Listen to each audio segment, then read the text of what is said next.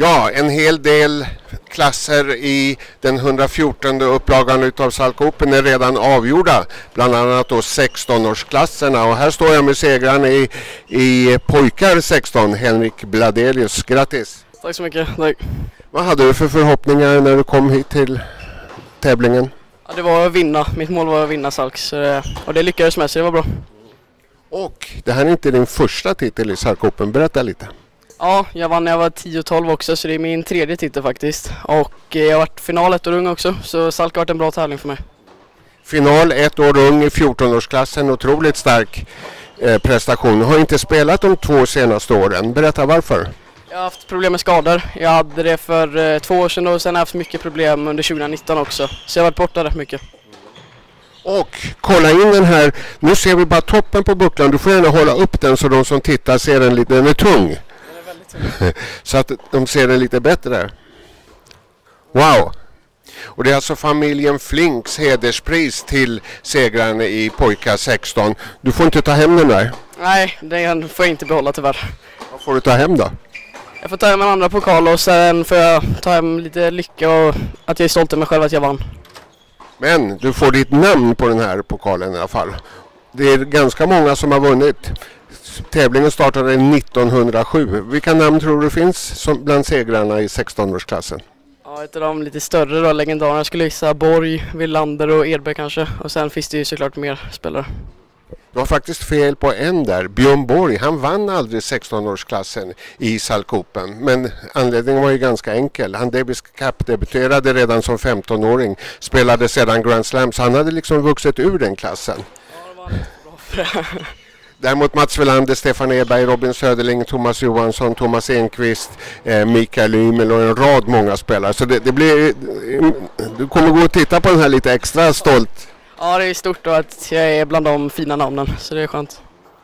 Henrik, 2019 så har det varit lite struligt med skador. Om du tittar för, vi ska säga du, din moderklubb är Alingsås TK. Du tävlar för GLTK nu, tränar mycket på Good to Great. Um, om du tittar fram då, 2020, vad är dina förhoppningar?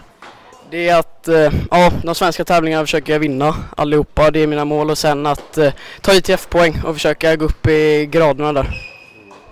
Hur jobbigt är det? Man pratar ju alltid att tennis är som ett maratonlopp innan man når ATP-touren. Hur jobbigt är det att ha det många år framför sig innan man kan nå dit?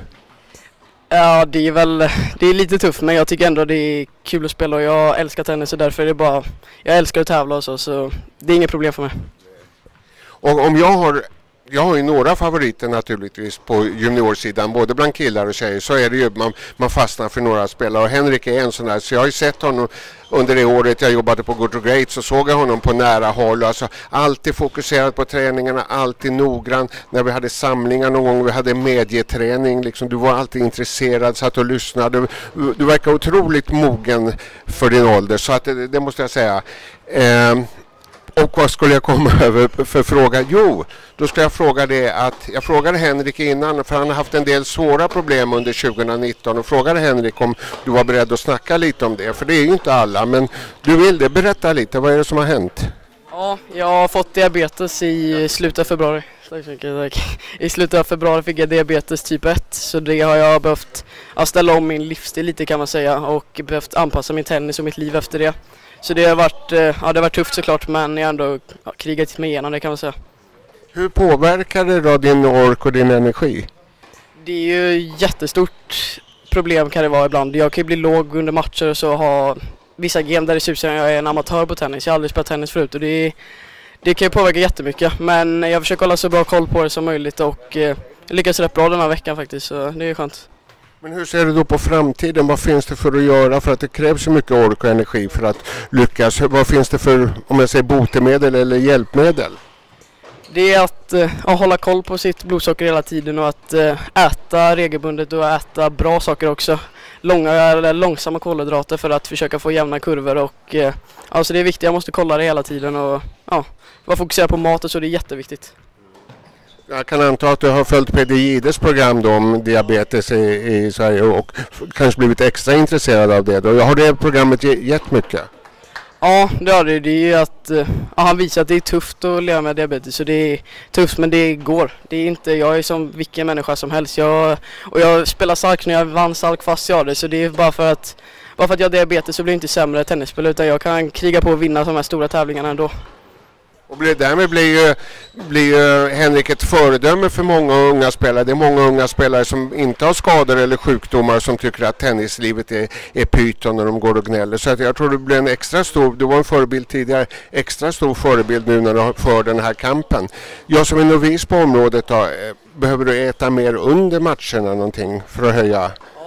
Det kan jag behöva göra. Det kan ju vara så lågt ibland att jag måste käka ett paket Dextrosol ungefär, ett helt paket och jag måste äta flera bananer och så. Det så ibland under vissa matcher kan det vara jättetufft. Det är som att ibland känns det som att jag inte sovit på två dygn ungefär.